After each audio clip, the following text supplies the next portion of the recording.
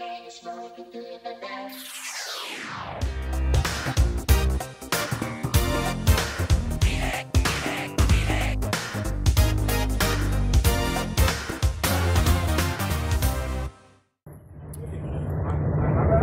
Under nogle øh, vejrforhold øh, i Dalamodense i dag, som nok var mere til øh, sneboldkamp og windsurfing end decideret fodbold, spillede Rødder uafgjort 1-1 mod Dalum på, øh, på Dalum øh, stadion.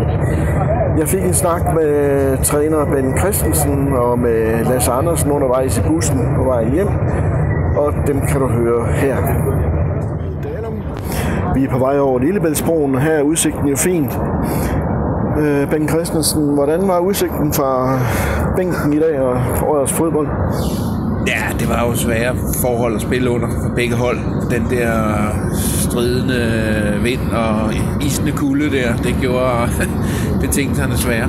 Men øhm, ja, resultatet øh, 1-1 må vi jo tage til efterretning og sige, vi var ellers foran, og, og vi skulle måske have kunne have lukket den til 2 til 2-0. Øh, det formår vi ikke, og, og så får, får de en dum straffe, og så bliver det 1-1, og egentlig bagefter skulle vi måske være glade for, at den blev 1-1. De havde også chancen til at kunne vinde, så, så sådan, overall så er det et point på udebane fint nok.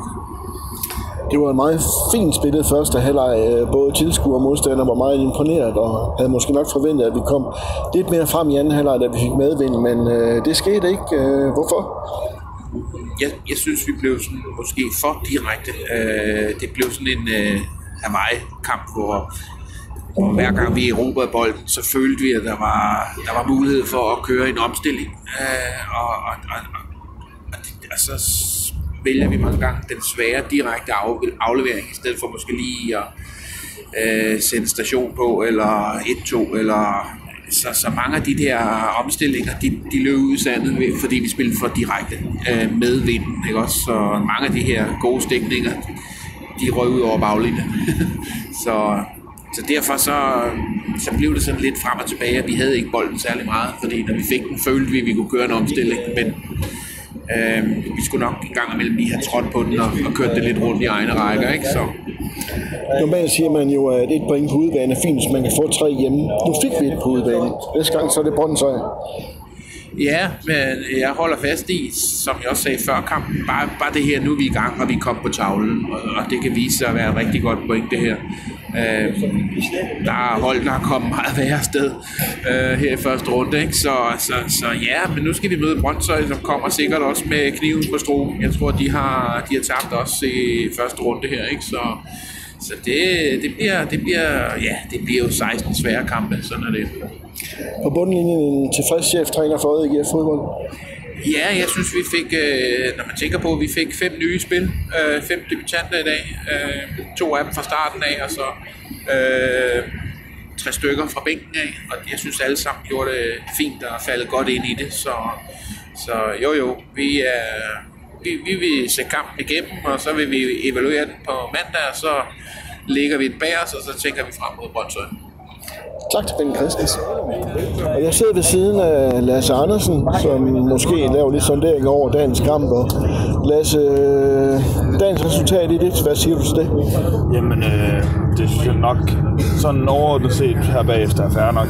Jeg vil gerne have vundet. Øh, jeg synes, vi havde chancerne til det, men sådan alt i alt er det nok fair nok, at den det.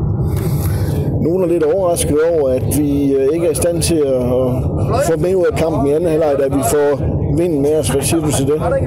Jamen, det kan jeg godt forstå. Altså, det skulle vi jo også.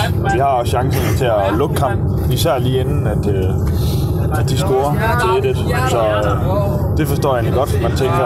Øh, det var som om, at det stressede os lidt mere at få vind med os, at, at vi skulle skabe kampen, og at vi gerne vil lave, øh, spille de kontra, så øh, vi stressede lidt for mange gange, synes jeg. Så øh, vi fik ikke gjort det sidste til at lukke kampen, og så spiller man 1-1 i stedet for at vinde.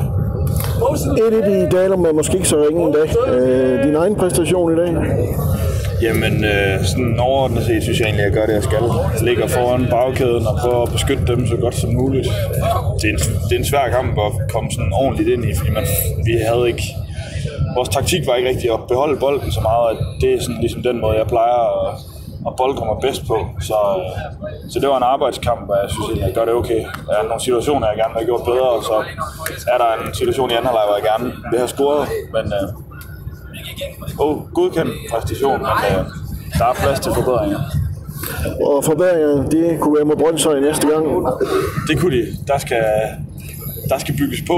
Jeg synes, vi skal spille lidt mere. Forhåbentlig er forholdene sådan værmæssigt også til, at vi, kunne, vi kan spille lidt bedre. Øhm, så skal vi have tre point, så vi fortsætter stimen. Ja. Til allersidst, øh, du plejer at spille øh, med to, to cifre tal på ryggen i. I dag konstaterer det bare var et sekstal, eller bare i godsøjen. Øh, hvorfor det? Jamen, øh, nu blev sekseren fri, og jeg har altid spillet i sekseren, fordi at, øh, det gjorde min far. Så øh, det er derfor. Og det er punktum med det? Det er punktum med det, at øh, jeg har altid fulgt hans fodspor og spillet i nummer 6. Så øh, den blev fri her i vinter, så så lavede jeg en aftale med Jan om, at jeg kunne skifte. Så det er jeg glad for, at komme tilbage i den. den øh, det føler jeg mig tryg i, når jeg spiller i 6. Ren nostalgi for Lars Andersen, hvis far jo og Thomas Andersen, den hengivende og store sekserspiller fra dengang AGF var noget i, i 80'erne. Slut her fra øh, bussen. Vi er lige omkring Skrik her på vej mod Lars Andersen var i studiet.